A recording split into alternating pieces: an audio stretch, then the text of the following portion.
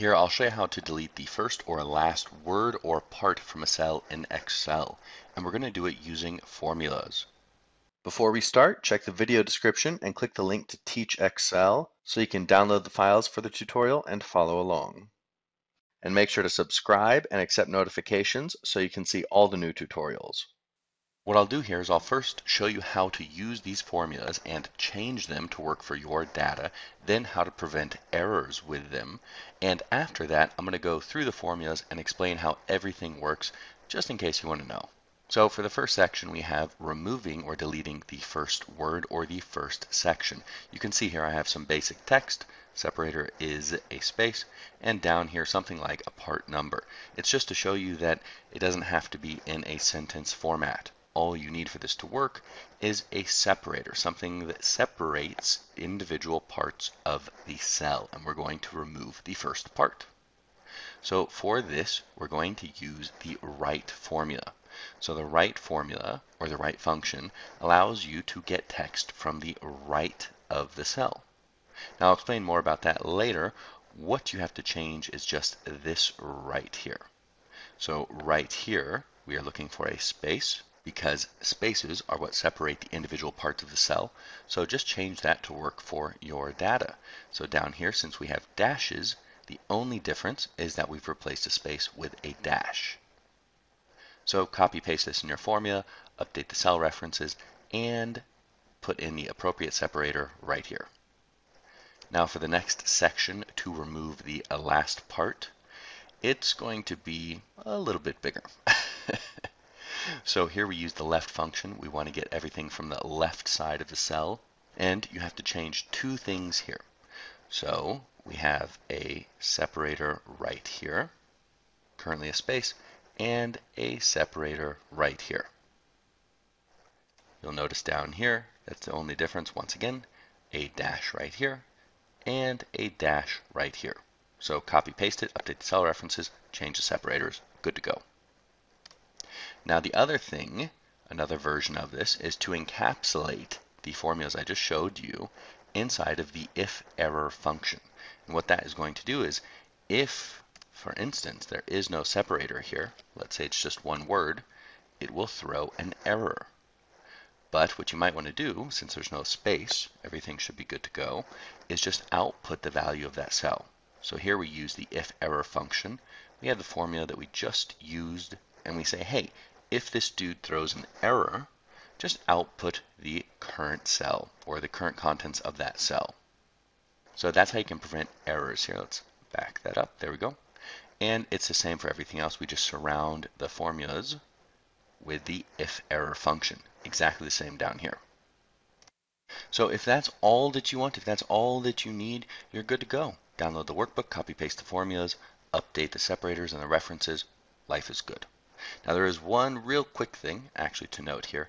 If any of your text has this little squiggle in it, change it here and here to something that will never appear in the cell. Now it's time to take a closer look at the formulas. So let's start with deleting the first word right here.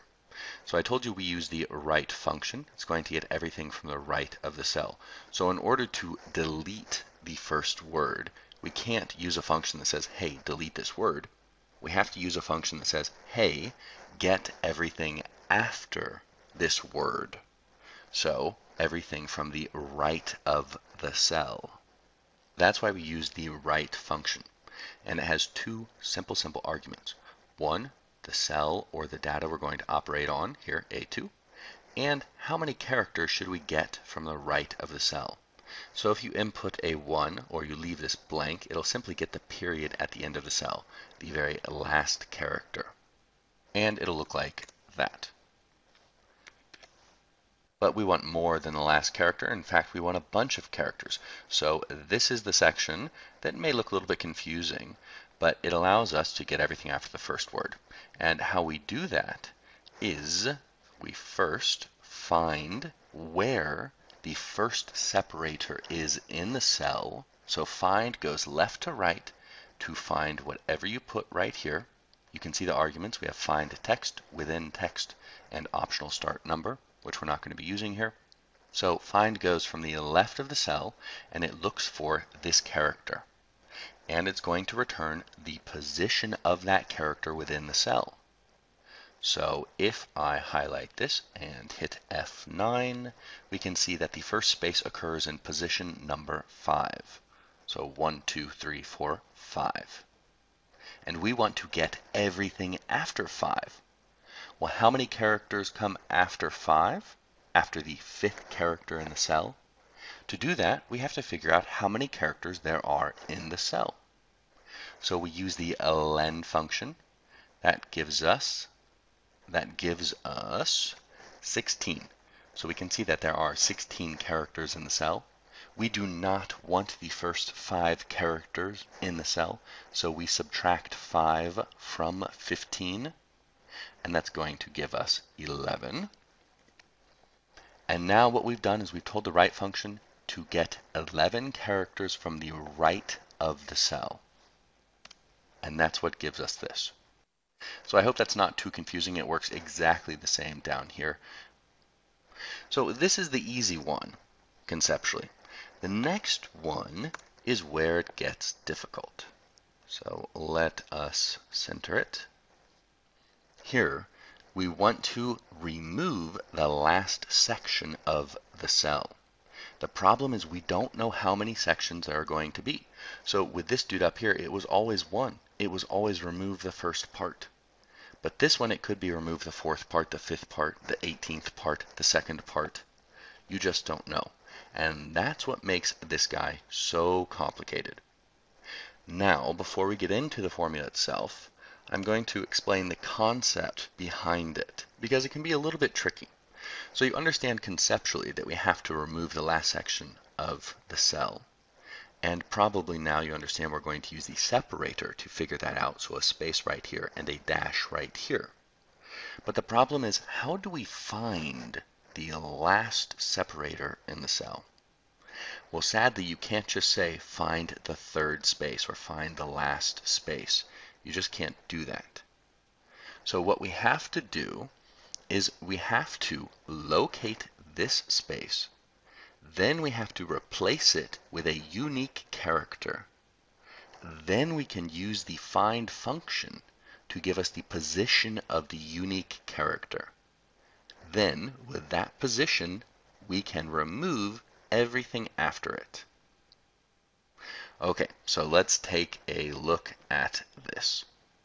We use the left function because we want to get everything from the left of the cell up to the last separator. It only has two arguments, just like the right function, a text and a number of characters. So all of this right here is just to tell you how many characters to get from the left of the cell. Now we will start inside to out here. Remember I told you that we need to find the last separator and replace it with a unique character. Well, how do you find the last separator? First, we need to know how many separators there are, because we can't just say get the last one. So we have to count how many separators there are. And that is what this little dude right here does. It's kind of a neat little trick to count how many separators are in a cell. So what you do is you take the total count of characters in the cell using the len function, and then you go into the cell and you kill, you replace, you delete all of the separators and we use the substitute function to delete all of the separators. And the substitute function, it's a great little function. It allows you to replace text with other text. So first argument is text. You say, hey, what are we going to work with? Well, I'm going to work with cell A7. Okay. Then we say, hey, what's the text we want to replace? Well, I want to replace the space, all of the spaces. And what do I want to replace it with? Here, I want to replace it with nothing, emptiness that effectively deletes the space from the cell. And the fourth argument for substitute, which we don't use here, but we will use in a moment, is the instance number. It is which instance of this text do you want to replace? If you leave it blank, it replaces all of them. So if I go here and calculate it, F9, you will see that this is my text has all of the spaces removed. And then we count using the len function how many characters that is. So that will tell us how many spaces there are.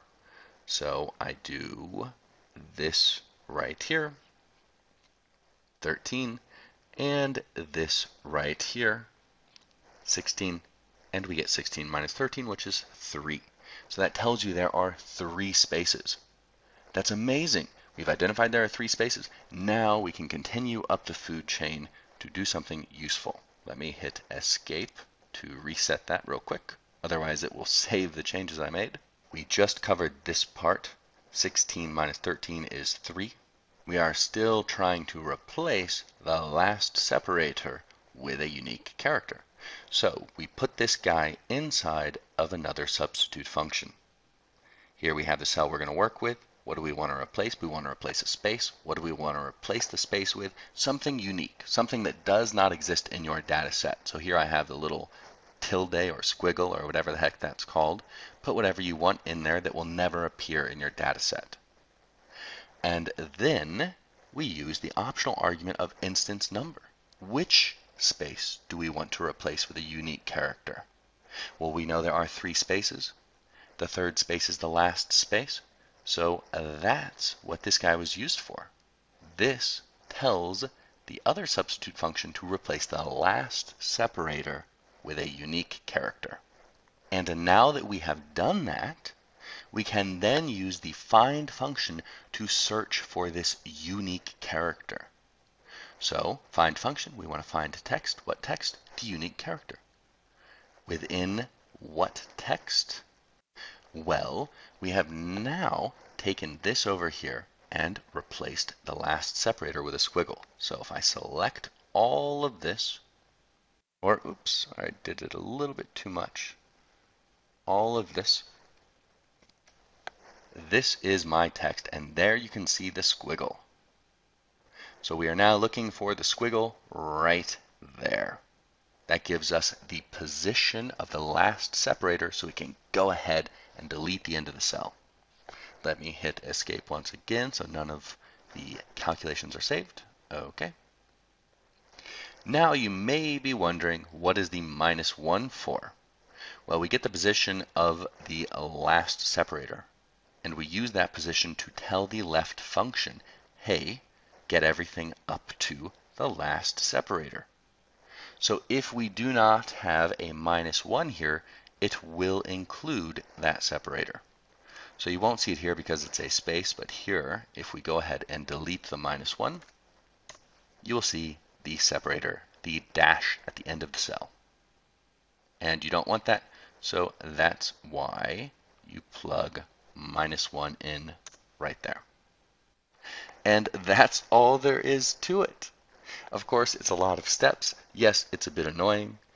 The problem is that you can't just delete a word from the end of the cell and you can't just find the last separator. So you have to go at this in a sort of a roundabout way in order to find the last separator and then replace the last separator with a unique character and then find that unique character because the find function is what returns its position within the cell and then make sure you subtract one so you don't include the separator, and then get everything from the left of the cell up to that character.